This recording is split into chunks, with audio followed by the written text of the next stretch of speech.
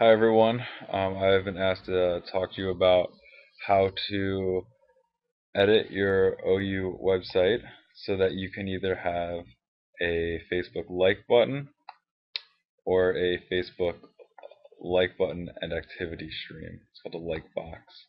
Um, additionally, you'll see on here that we have a Google plus one button, but we'll get to that in another tutorial.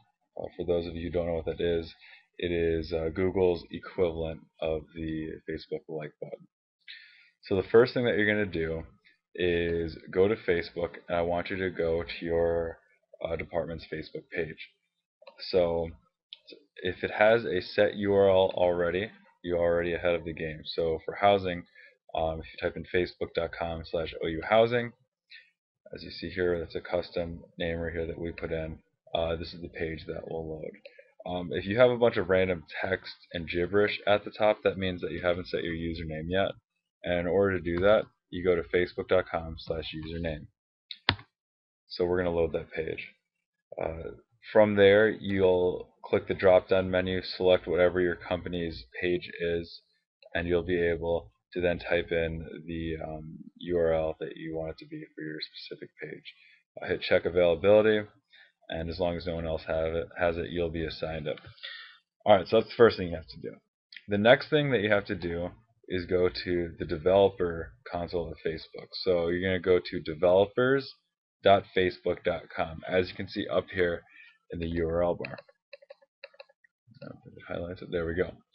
Uh, once on this page, you're going to click uh, apps on facebook.com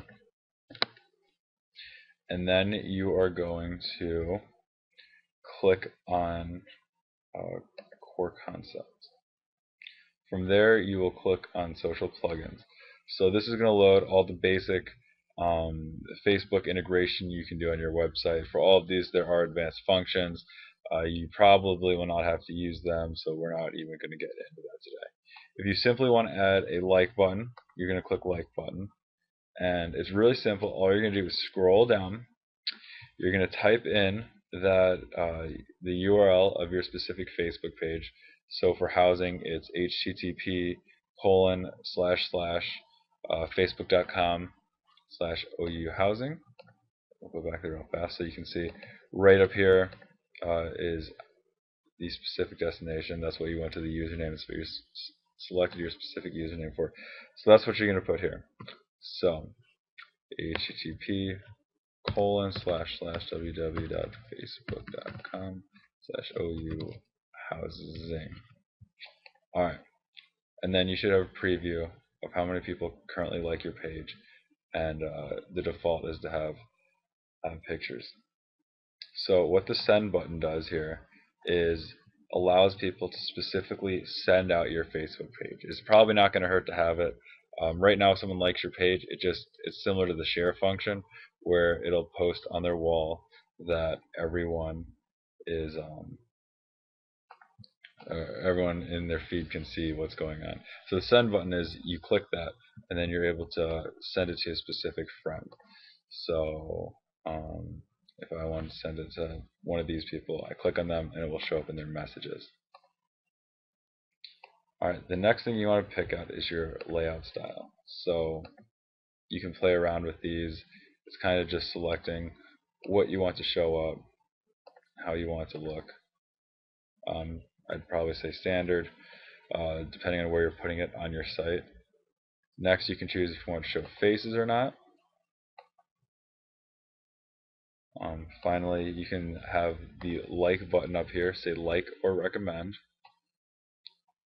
And then you can pick your color scheme, so it's going to be light or dark.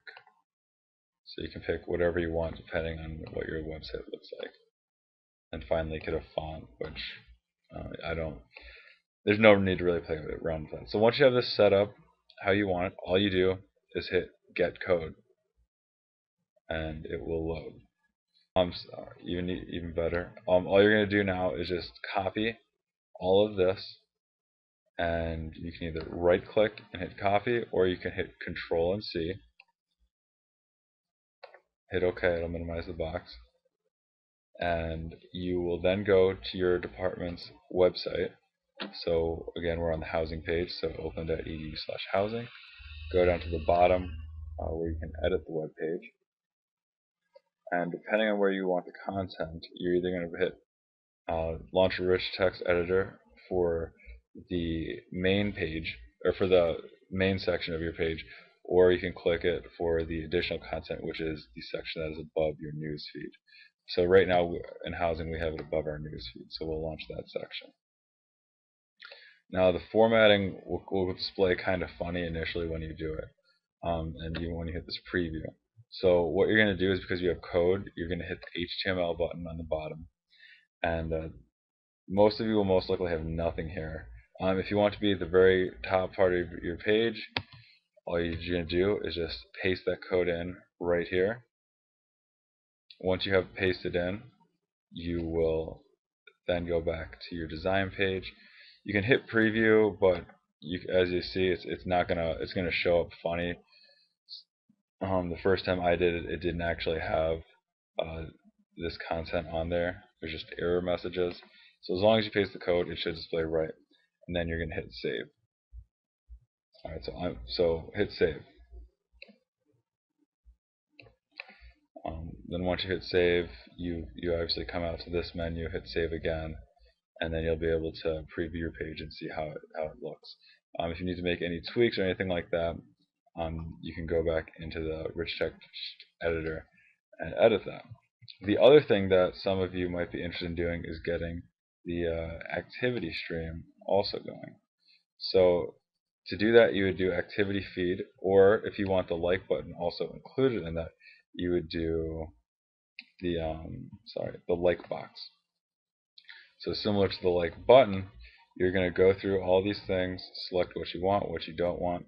Uh, the only difference here is the width, so you're going to decide how wide you want it, um, and that's something you have to play around with on your site. So you know, you're typing 400 pixels.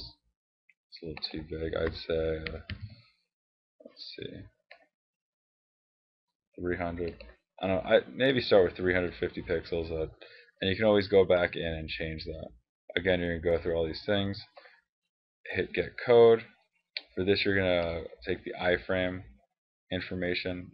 Again, copy that. All right. Hit OK. Go back into your website. Hit this edit button so that the new page loads. You will then go into wherever you want to put this. So for this, I'd probably recommend your main content, or um, you could even do it in your additional uh, content above your newsfeed. Uh, if you do that though, I'd recommend having the width of it a little bit smaller than what we have right now. Hit Rich Text Editor. Again, since you have code, you're going to hit HTML. And um, the main page will have a lot more going on than the uh, newsfeed column, the additional content. So uh, your best bet here is going to be to uh, either put it at the top or bottom for simplicity. And all you're going to do is just paste it in wherever you want it. So this is where we have ours pasted in. And you will be able to um, then have it on your page. So you paste the code in, you hit design, you hit save, and then your, this will show up on your page. So that's a very simple way of how to do it. Let me know if you have any questions.